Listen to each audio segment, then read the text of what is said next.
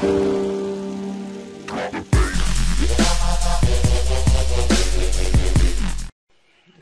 YouTube and today I'm going to do a review on the CyanogenMod 7.1 ROM for the Motorola Atrix 4G. So this was ported by the Atrix dev team and not supported by the official CyanogenMod dev team. So it is a port but it is fully functional except for fingerprint scanner and WebTop because those are not native to CyanogenMod. So let's just turn it on right now. Let's see how long it'll take to boot up. Because as everybody knows, CyanogenMod is one of the most popular ROMs for any for the Android like phones and stuff like that. And second one is MIUI.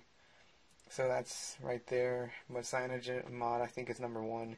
At least in my opinion. Everybody has different opinions and there it is. As you guys know, the old classic animation of CyanogenMod. Love that Android on a skateboard and it booted up quickly. Let's unlock the phone. As you can see, it is really fast. That's why I love CyanogenMod. I did have the Dark Side ROM for the Atrix on here, but it came with the Motorola launcher. It is laggy, so I just installed this instead. Remember to always use the latest Clockwork Mod recovery. Um, I used romracer's on XDA so you can get that. Now you can see it is a fast experience when you're scrolling because it does use ADW launcher, and as it does have many other stuff that regular CyanogenMod has, like theme chooser. So you can choose your themes right here. Yeah, let's just choose. I already have this one. Let's just choose this one. Apply. Okay. Okay. About alarms? And there we go. And I think this is updated to Android Gingerbread 2.3.7. Yes, I am correct. So it is, I guess, I guess in my opinion, the latest version. I think I'm not sure, but I can't wait until CyanogenMod 9 comes out, which will be at least I think something will happen with them. Probably a nightly build in two months because they did post that on their Twitter where they say check back in two months, CyanogenMod 9. Because as many of you know, the um, Ice Cream Sandwich source code was released. So that's awesome. Let's see, it comes with the standard stock gingerbread feel to it and the fastness of it. I'm not sure if that's a word, but okay, so let's see, it is clocked at 1 gigahertz. I think that's normal. Yes, that's normal and you can't overclock it at least the processor Tegra 2 to at least 1.4 gigahertz.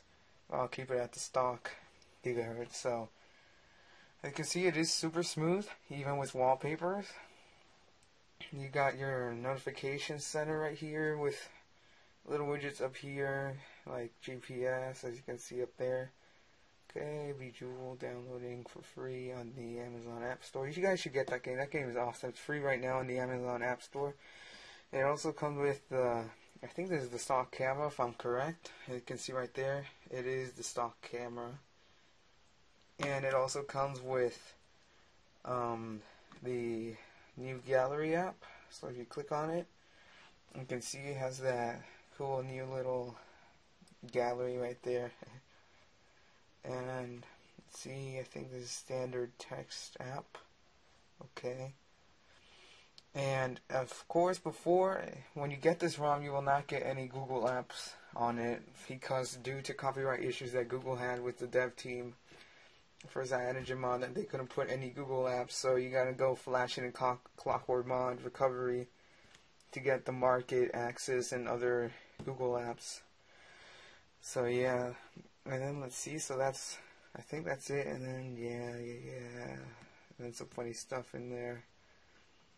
Um, overall, like I said before, it's a fast experience. This is not recommended for a new user to Android, as you will probably not have enough experience flashing ROMs. This is only for an advanced user that knows how to flash ROMs and use the Android operating system very well. So that's pretty much it for the CyanogenMod 7 review ROM for the Motorola Atrix 4G. And I hope to see you guys in the next video, which would probably be in the next few days. So, peace.